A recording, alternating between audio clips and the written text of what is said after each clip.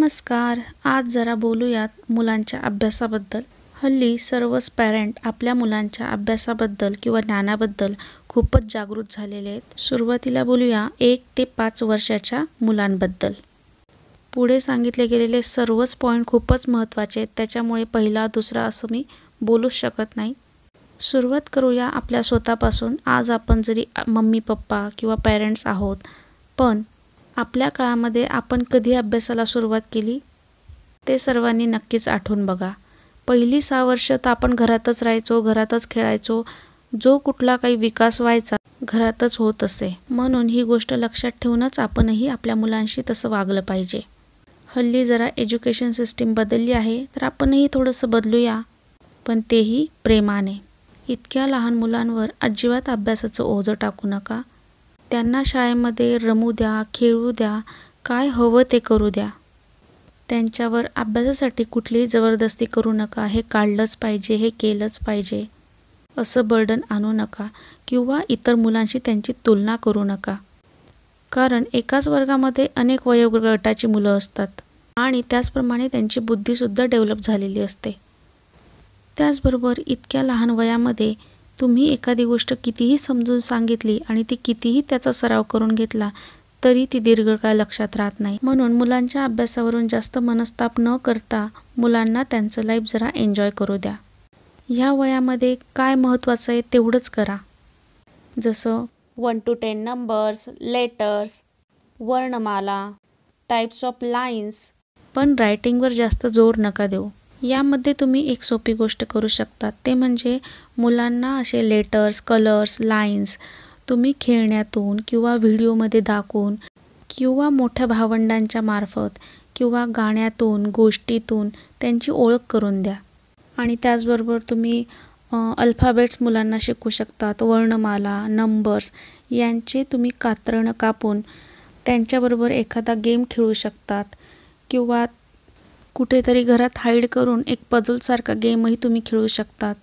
आणि जे तुम्हाला मुलांना ॲक्च्युली शिकवायचे आहेत त्याचे मोठे मोठे लेटर्स कारण अशा लहान मुलांना लहान लहान लेटर्स लवकर कळत नाही. तर त्यांना मोठ्या मोठ्या आकाराचे लेटर्स त्यांच्या बेडरूममध्ये किंवा कपाटावर किंवा भिंतीवर तुम्ही गिरवायला लावा किंवा लिहायला लावा. नुसता त्यांनी बोट फिरवला तरी त्यांना कळेल की हे काढायचं कसं आहे ते. आणि डोळ्यांना एकदा वारंवार बघून त्याची सवय झाल्यानंतर बाळ ते ॲटोमॅटिक काढायला लागेल. हल्ली अशा प्रकारचे टॉईज ॲपसुद्धा मार्केटमध्ये अवेलेबल्स आहेत. ट्रेसिंग ॲप त्यांना म्हटलं जातं. त्यांच्यामधली डिझाईन्स टी पिक्चर्स आणि त्याचबरोबर म्युझिक त्यातून मुलं त्यांच्याकडे पटकन ॲट्रॅक्ट होतात आणि पटकन शिकतात. आता वळूया थोड्या मोठ्या मुलांकडे म्हणजे सिक्स प्लस एज ग्रुपच्या मुलांकडे. सहा वर्षानंतरच्या मुलांना थोडीफार का होईना अभ्यासाची गोडी लागलेली असते. अभ्यास काय असतो ते त्यांना कळलेलं असतं. सहा वर्षानंतर जर तुम्हाला तुमच्या मुलांना खूपच हुशार करायचं असेल तर एक महत्त्वाची गोष्ट सांगते. जो कुठला भाग टीचर स्कूलमध्ये किंवा क्लासमध्ये शिकवत असतील तो भाग आदल्या दिवशी तुम्ही मुलांना थोडासा का असे ना त्याची ओळख करून द्या. मग एकदा कळल्यानंतर ते दुसऱ्या दिवशी जेव्हा शाळेत जातात आणि ती रिव्हिजन पुन्हा घेतली जाते तेव्हा मुलांमध्ये एक वेगळाच कॉन्फिडन्स येतो. आणि अभ्यास करण्याची गोडीसुद्धा त्यांच्यामध्ये निर्माण होते. आणि नंतर दिलेला होमवर्क किंवा गृहपाठ ते मुलं आनंदाने करतात. आणि भरपूर सराव किंवा रिव्हिजन झाल्यामुळे तो भाग नेहमी त्यांच्या लक्षात राहतो. सहा वर्षांच्या मुलांचा अभ्यास रेग्युलरली घेणं खूपच गरजेचं असतं. कारण सहा वर्षानंतरच ते इयर वन इयर टू असे पुढे पुढे जात असतात आणि ह्याच वयामध्ये त्यांचा पाया पक्का करून घेणं महत्त्वाचं असतं. इथेच जर मुलं जर मागे पडली तर पुढे त्यांना सर्वच कठीण वाटायला लागतं. नेहमी लक्षात ठेवा अभ्यास मुलांचा घेताना त्यांनी एक छोटीशी नॅप किंवा झोप घेतलेली खूप गरजेची असते. म्हणजे तुम्ही सकाळच्या वेळी किंवा दुपारी जर मुलं नॅप घेत असतील तर संध्याकाळच्या वेळी व्यवस्थित मुलांचा अभ्यास घेऊ शकतात.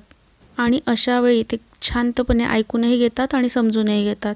पण तेच जर तुम्ही मुलांच्या झोपेच्या वेळी किंवा भुकेच्या वेळी घेतलं तर मुलं अजिबात आपल्याला सपोर्ट करत नाही म्हणून शक्यतो अशा वेळा टाळा. आणि एका वेळी एकच छोटासा भाग शिकवा. एका वेळी अनेक गोष्टी जर तुम्ही सांगितल्यात एकापेक्षा जास्त दोन जरी सांगितल्या तरी मुलं गोंधळतात. नेहमी मुलांकडून एक दोन वर्कशीट मधून मधून सॉल्व करून घ्या आणि मग त्यांना ब्रेक द्या.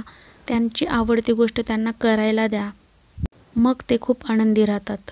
नेहमी मुलांचा अभ्यास घेताना अधूनमधून त्यांना हसवावं त्यातून त्यांना जोक किंवा गमती जमती त्यांच्याशी शेअर कराव्या.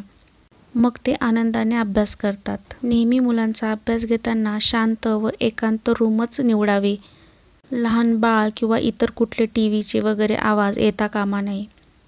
मुले आपले बोलणं काळजीपूर्वक ऐकतायत की नाही? आपण कुठे पॉईंट करतो आहे किंवा कुठे काय बोलतो आहे ते मुलं व्यवस्थित ऐकतायत की नाही याच्याकडे व्यवस्थित लक्ष द्यावे. आय होप मी सर्व मुद्दे ह्या व्हिडिओमध्ये कवर केलेले आहेत. तुम्हाला अजून काही सांगावंसं वाटत असेल तर प्लीज मला कमेंट करा. व्हिडिओ उपयोगी पडला तर लाईक करा शेअर करा सबस्क्राईब करा. भेटूया पुढच्या व्हिडिओमध्ये. थँक्यू